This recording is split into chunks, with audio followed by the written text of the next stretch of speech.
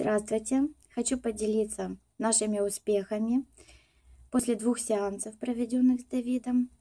Э, наш ребенок Андрюша научился говорить слово «нет», отвечает на вопрос конкретно «нет». Да, еще не научился говорить, но «нет» уже говорит. Это достижение, ну, то есть он слышит вопросительную интонацию, принципе, я так подозреваю, что он понимать очень много начал из того, что он вообще не понимал абсолютно речи. Э, он сейчас все-таки понимает, э, потому как это слово «нет» совпадает действительно с его э, настроением эмоциональным. То есть, если он не хочет идти на занятия, он говорит, идем на занятия, Андрюша, нет. И действительно это не совпадает с его, с его настроением. То есть он действительно приходит на занятия, ну и, так сказать, делает, конечно, ну очень так через «не хочу». Э, что еще у нас интересного.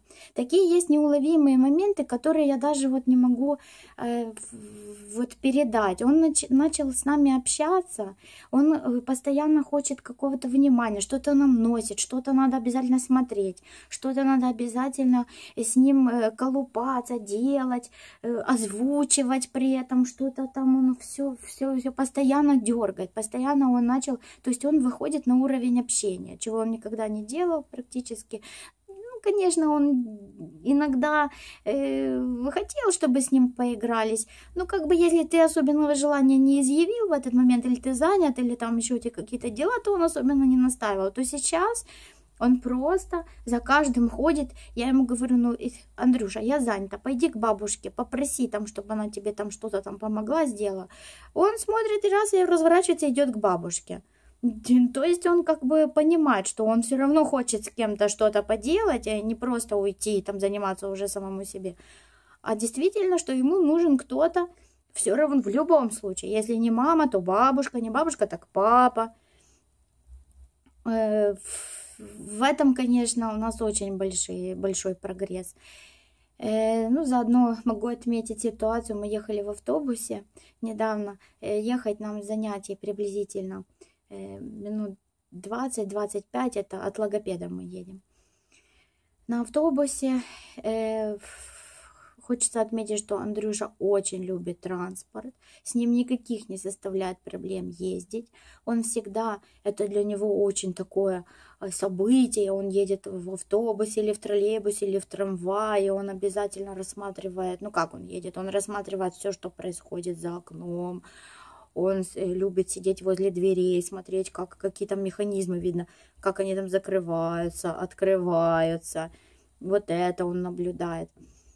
И вот из последних разов, что мы ездили, э, сидим, и он себя начал так вести, вот как обычный ребенок, который э, устал вообще ехать в транспорте, который хочет уже слезть. Он начал мне крутиться на коленях, начал рассматривать людей, э, чего он вообще никогда не делал. Э, начал рассматривать. Одна женщина, э, которая стояла возле нас, начала ему улыбаться так сверху вниз. Он вдруг ей поулыбался, посмотрел в окно, запомнил же, что она там стоит и улыбается. Ему опять к ней повернулся. Она снова ему улыбается. Он начал ее дергать за курточку. Я была в шоке вообще. Это вообще был какой-то не мой ребенок.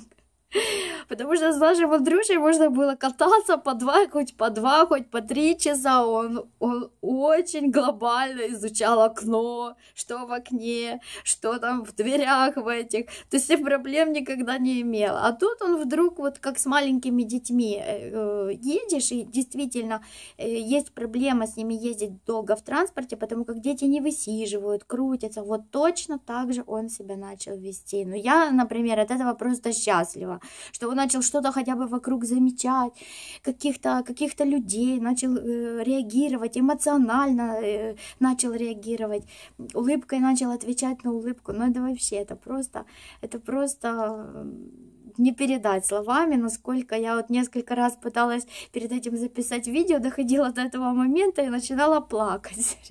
Выключала, ждала, на следующий день начинала записывать. Ну, то есть это вообще, это просто мы очень, очень счастливы и довольны.